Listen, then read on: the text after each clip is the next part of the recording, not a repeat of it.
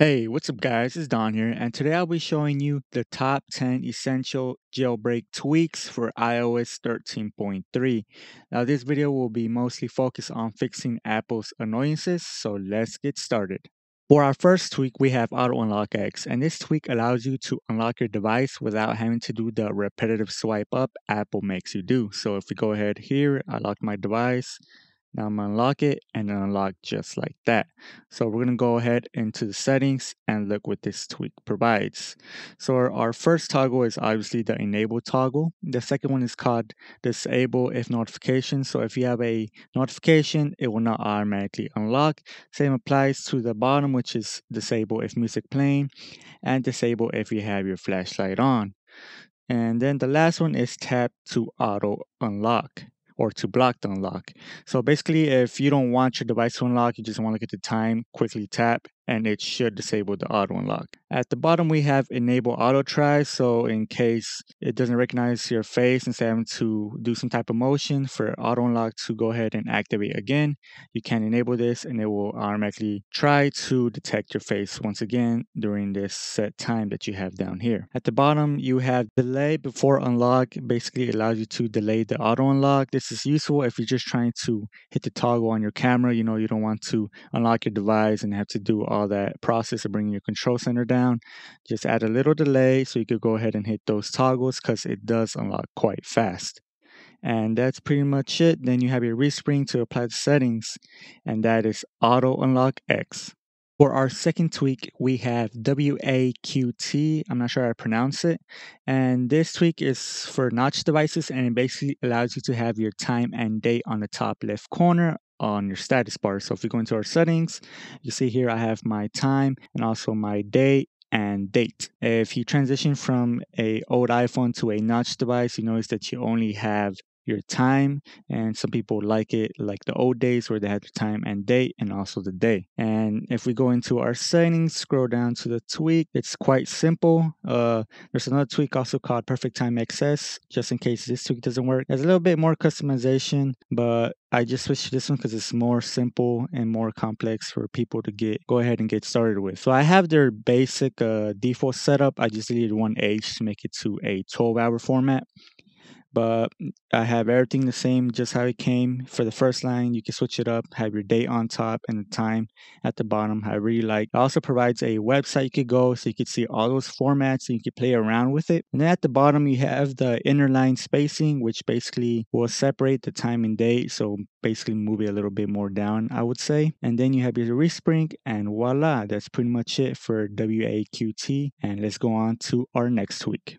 The next tweak might not be essential for most, but it is if you have Auto Unlock X installed or you just use your flashlight a lot, and that is Smart Light. And this tweak allows you to turn on your flashlight by pushing the power button and volume down button at the same time for easy access. You can also adjust the brightness with the volume buttons, and the reason I said it's best paired with Auto Unlock X is because the unlock sometimes is so quick you cannot hit your flashlight toggle on time, and that is Smart Light.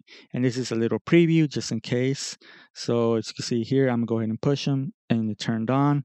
Now it's on my lock screen. I'm gonna push them again and now it turned off. Once again, that is Smart Light. On to the next tweak. Digital Battery 13 gives you your battery percentage on the top right corner of your phone, just like how we all want. Now, if you come from an old device, you know back then you actually had the ability to have your battery percentage next to the battery icon. Well, now to find out your battery percentage, you have to swipe down to your control center to see that. But Digital Battery 13 fixes that and gives us a lot more. So if we go into our settings, of course, we have your enable toggle, and then you have some styles to pick from digital battery being the battery percentage and the last one being the stock and the two middle ones actually should be the battery percentage inside the little battery if i'm correct? Now if we go back we go into the font options you have the ability to have that little bolt pop up next to your percentage when you're charging. I have that disabled. And then you have show percentage sign. Either you have it showing or not. So you could just have the number or the number and the percentage. And at the bottom, I think this applies for non-notch devices because for notch devices, you're limited to having it on the top right. So we're going to go ahead and skip down to the auto resizing. So this is basically if you don't want to change your font or change how big it is, you can also turn this on to have it automatically resized. The next option is bold font. So if you have trouble seeing the brag percentage because it's a little bit small or skinny, you could go ahead and toggle that on to make it pop a little bit more. The mirror text, I don't know what that is. So if you do know, please comment below the video to let us know what it is. And then you have your tap gestures. This allows you to turn on low power mode by double tapping on the percentage. Now, for me, I have the small font, so it's kind of difficult. So I'm gonna just try to tap to see where it's going to disable. Um, but if you have a bigger font, it should not be a problem. So once it's actually activated, you will receive a haptic feedback.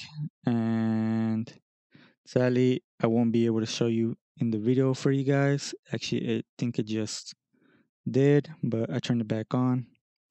But anyways, double tap on the percentage and it should turn on and off low power mode. So we go back into our settings. For our last few toggles, we have enable colors. So you can have a custom color if you wanted to match your theme that you got going on or for whatever reason you just want to change the color. Toggle that on, select your colors, and then respring and you should have those custom colors. But anyways, that is it for Digital Battery 13. On to the next tweak. The fifth tweak is called Easy Edit Alarms. There are no settings to configure and it basically allows you to edit your alarms without having to do the repetitive edit and selecting the actual alarm. So with this tweak, you just tap on your alarm and you're able to edit it however you like if you have multiple alarms. Once again, that's Easy Edit Alarms. On to our next tweak. Hide bar X is our sixth tweak and there are no settings to configure and it basically hides the bar at the bottom. If you got a new device, you notice there's always a bar there. It's quite annoying. And I know it's for the gestures, but after a while you learn them and you don't need that bar and this hides it so it looks nice and clean. That is hide bar X. Flicks for All is our seventh tweak and it basically gives you a iPad style keyboard which allows you to flick down on your keyboard to improve your typing. So if you go into our settings, you do see that there are some small characters within my keyboard clicks right here and I am able to swipe down to put a number instead of to go all the way to the right and select it and go back. Now when I first installed this tweak, I saw nothing on my keyboard. So I went into the settings. So if we go into our settings, go into Flicks for All, and I just selected one of my active layouts. I do have my English and my Spanish keyboard. So I went into here and I just put separate small slash capital letters and I got that layout. Now you can go and customize it however you like, which ever type of keys you use the most often. You can switch that out besides having the layout that I have. But that's pretty much Flicks for all. I really can't show you how to customize it because there's endless possibilities, but that's how I have it. It's basically stock and this pairs along very well with the swipe keyboard that just came out for iOS 13. And yeah, once again, that is Flicks for all. On to our next tweak. Silent screenshot is our eighth tweak, and this basically disables the camera shutter when you're taking screenshot, which is very nice because if you're in public, you don't want to think that you're taking a picture of someone or you don't want somebody over here starting some drama thinking you're nosy because they heard the screenshot or whatever the case is it's quite annoying and we should have the ability to turn it off.